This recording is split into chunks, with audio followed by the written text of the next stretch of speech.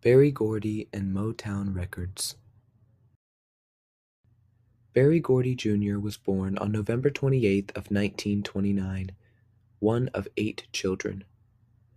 Growing up in Detroit as a black male already contained its own hardships for Gordy, with racial immoralities still prevalent and consistent. Both of his parents upheld strict discipline. His family obtained one simple ideology family loyalty and hard work were the keys to happiness.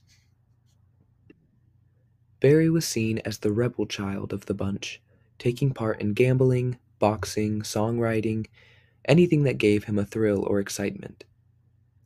As he grew older and as time progressed, Gordy began dabbling more and more into the music and recording industry, trying to jam his foot in any door that was cracked open just enough. At the time, around 1957, the music industry was still heavily segregated. There were only a select few black only radio stations, and those stations contained extremely weak signals that were difficult to locate. Gordy had previously operated a few facilities that ended in failure, but eventually worked his way up to managing singers within the likes of a large multi floor apartment owned by his sister Gwen.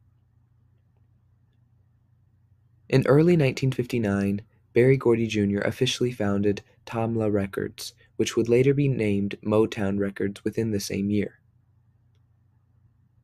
A group called the Miracles were one of Gordy's first clients. After the Miracles achieved local success with their song Got a Job, people began requesting for them to perform in front of live audiences. However, their first live show was not as successful with discoordination on stage, off timing, and a lack of stage presence. This fueled Gordy to continue to become a better manager until everything was flawless. His hard work would begin to show as more and more of the groups he managed got more exposure. In 1961, through Motown Records, the Marvelettes had their first number one hit, titled Please Mr. Postman. Here is a recording of their performance. Hey, hey,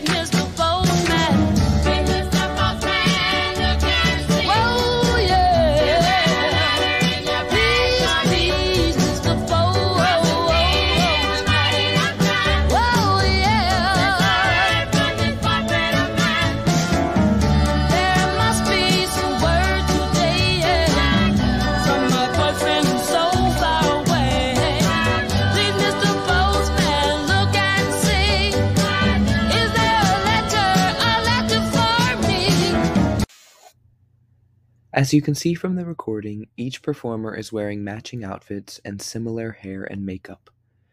They have a simple, bright stage presence and simple choreography.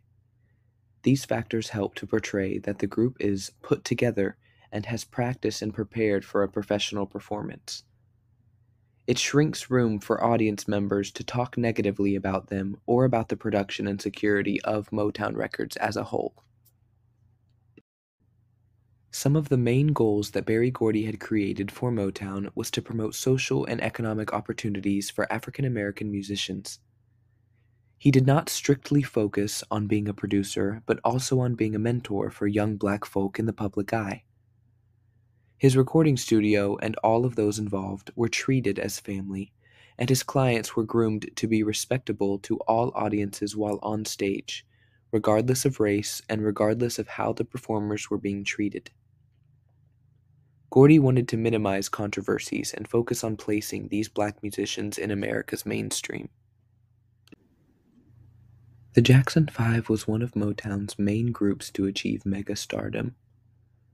The Jackson Five consisted of brothers Tito Jackson, Jackie Jackson, Marlon Jackson, Jermaine Jackson, and most notably, Michael Jackson. Berry Gordy signed them into Motown in March of 1969.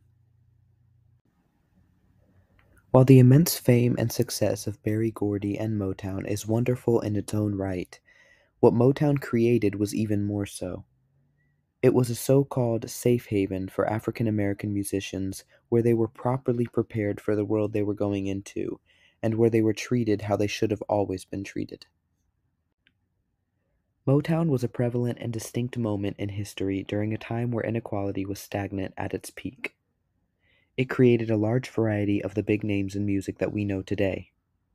Without it, and without Berry Gordy Jr., the music recording industry, along with the progression of African Americans' economic and social status and their rights, would not be what it is today in American culture.